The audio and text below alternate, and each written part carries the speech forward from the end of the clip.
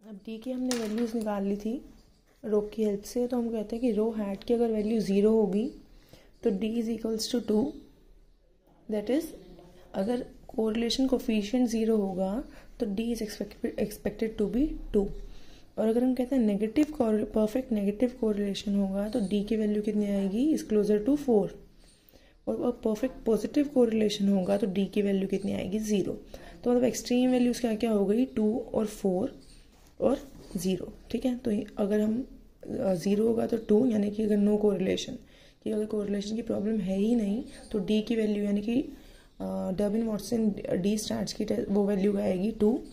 Perfect negative तो four and if perfect positive तो zero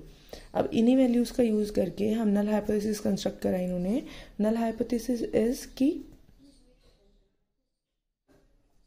कि rho hat is equals to zero that is no auto correlation ठीक है? No auto correlation अगर if an alternative hypothesis rho hat is not equals to zero that is auto correlation is present कि auto correlation है आपके model में. तो हम ये कह रहे हैं, अगर आप, देखो इन्होंने तीन रीजन दिए हैं रीजन दिए हैं। एक तो हो गया ये वाला, यानी कि डी एल और D U D L is the lower limit U is upper limit ठीक है? अपर वैल्यू तो इन्होंने फाइव फाइव रीजन आएँगे टोटल क्या क्या देखो, पहला इन्होंने बोला है कि if D is less than D L और greater than four minus D L इनके मतलब ये कहते हैं, अगर द लोअर वैल्यू से बड़ा हो लेस है, ठीक है लेस हो, और D four minus D L से बड़ा हो तो यानी कि इन दोनों रीजन के कौन से रीजन है? क्रिटिकल रीजन हो जाएँगे। Critical region means we will reject the null hypothesis that is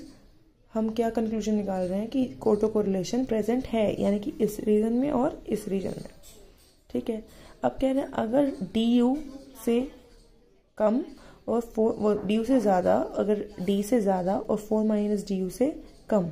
यानी कि अगर इस रीजन में अगर आपका वैल्यू आती है तो हम बोलेंगे, आप एक्सेप्ट कर लोगे नल हाइपोथेसिस को that is there is no auto correlation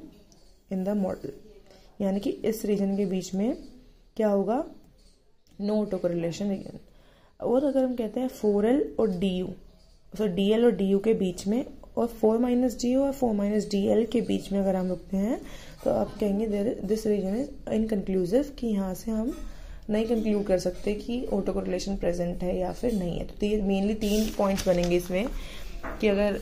D से लाई बिटवीन डी यू और फोर माइनस डी यू तो एक्सेप्ट कर लेंगे ना हाइपोथेसिस को। और अगर डी से अगर एक्सट्रीम लेवल्स पर है कि डी एल से कम और फोर माइनस डी एल से ज़्यादा यानी कि एक्सट्रीम वैल्यूज़ यानी क्रिटिकल रीजन होगा तो हम नल हाइपोथेसिस को रिजेक्ट uh, कर देंगे। This means presence of auto correlation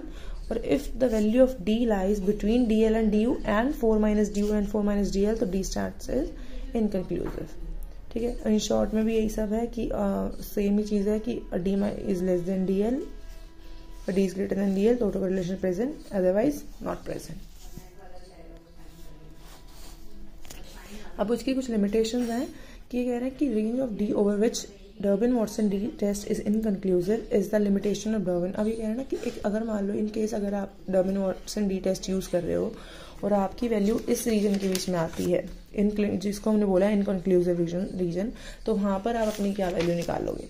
ठीक है तो इस रीजन के बीच में आएगी तो हम बोलेंगे आपका इसलिए ही एक टाइप से ये भी लिमिटेशन होगी कि अगर इस रीजन के बीच में अगर आपका वैल्यू आएगी तो डर्बिन वॉटसन डी टेस्ट कोई भी कंक्लूजन uh, नहीं दे पाएगा Next is it is an inappropriate measure of detecting autocorrelation if among explanatory variables there are lagged values of endogenous variables. जब मैंने एजम्पन्स करवाई थी प्रॉपर्टीज़ करवाई थी इस डी टेस्ट की तो हमने एजम्पन मान कर ली थी कि हमने कहा था कि को एक्सप्लेनेटरी वेरिएबल्स के लैग्ड वैल्यूज़ नहीं होने चाहिए मॉडल के अंदर। अगर होती है तो डी टेस्ट वहाँ फेल हो जाएगा। डी टेस्ट आप अप्लाई नहीं कर सकते। इसलिए कह रहे हैं, उस वाले उस वाले अगर उन केस के अगर लैग वैल्यूज़ प्रेजेंट हैं एक्सप्लेनेटरी वेरिएबल्स की तो वहाँ पर भी क्या हो जाएगा? सॉरी डिपेंडेंट वेरिएबल की अगर एक्सप्लेनेटरी एज एक्सप्लेनेटरी वेरिएबल है मीन्स कि Y is equals to beta one plus beta two Y T minus one हो, कि लैग्ड वैल्यूज़ अगर प्रेजेंट होंगी तो यहाँ इस वाले केस में आपका ऑटो को टी टेस्ट हम यूज़ नहीं कर सकते फेल हो जाएगा। इसलिए ये भी इसकी क्या है लिमिटेशन है।